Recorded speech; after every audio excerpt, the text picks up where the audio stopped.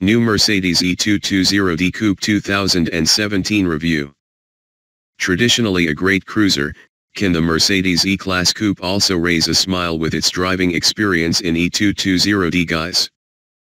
Verdict 4 star The new Mercedes E-Class Coupe doesn't disappoint as a comfortable cruiser even on broken British roads. It's a great looking car with a top-notch interior and a very calm, composed drive, but the trade-off is that it doesn't feel particularly sporty. However, rock-bottom running costs and unquestionable style make it a great all-rounder. The Mercedes E-Class is one of our favorite large saloon cars, mixing a classy interior with a composed drive and a strong range of engines. That doesn't automatically mean we'll love this new coupe model, but with such a good base, what could go wrong? We first drove the car in Spain last month, and came away impressed with the coupe's refined, calm, and cosseting character. Happily, that stands true back in the UK, even on our notoriously rutted roads. Our test car was fitted with standard springs rather than the pricey adaptive air suspension, a 1,495 pounds option, but even on bumpy roads we found the Big Merc to be very comfortable indeed. The ride is a little firm at low speed, but push on and it irons everything out very well even larger potholes. The E-Class does feel very big here in Britain, though, as our smaller, tighter roads start to make the Mercedes sheer size a bit of an issue.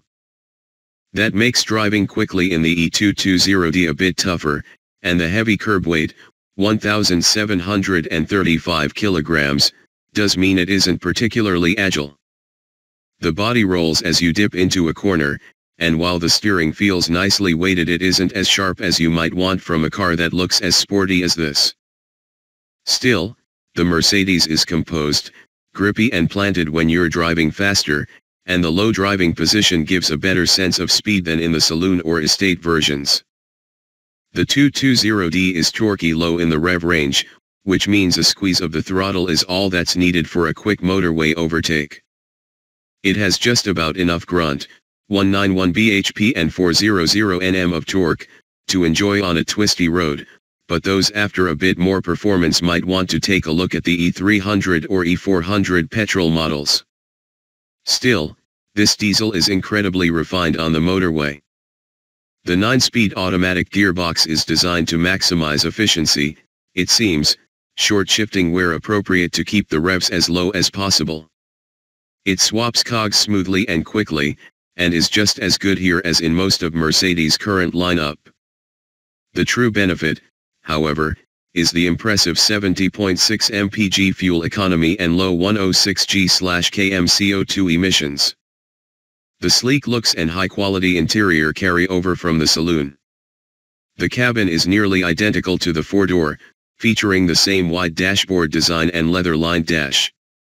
Our car was fitted with the superb dual-screen infotainment system and instrument display, too. Passengers in the rear seats will be fine for legroom, but that sloping roofline means headroom is a bit too tight for longer trips. Climbing in the back is a bit of a pain as well thanks to the slow-moving electric seats.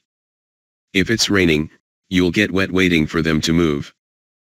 The 425-liter load bay is actually smaller than the Audi A5's 465-liter space, even though that car's technically in the class below, but it's a still a decent size and usable shape.